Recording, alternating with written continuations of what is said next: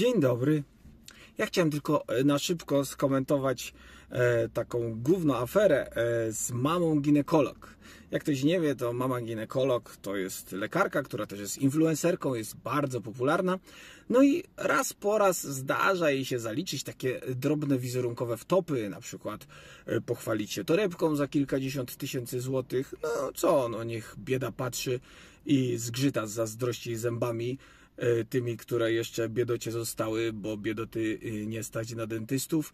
Albo na przykład wyszło, sama się pochwaliła tym, e, że przyjmowała poza kolejnością w publicznym szpitalu, w którym pracuje swoje koleżanki. No, biedota niech sobie rodzi na NFZ i ma termin porodu po trzech latach od poczęcia, prawda?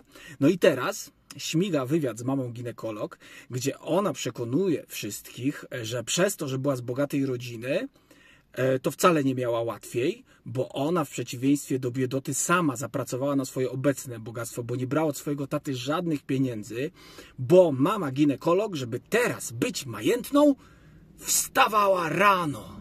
Tak, wstawała rano, brała jakieś używane rzeczy z domu, jechała swoim samochodem na targ w wieku 17 lat, sprzedawała tam te rzeczy, zarabiała 700-800 zł dziennie.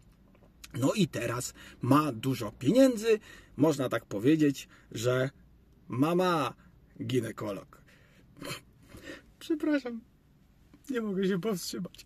W każdym razie mama ginekolog pominęła pewien drobny szczegół, e, że może na przykład ci biedniejsi ludzie to w domu raczej nie mieli rzeczy, które można by sprzedać.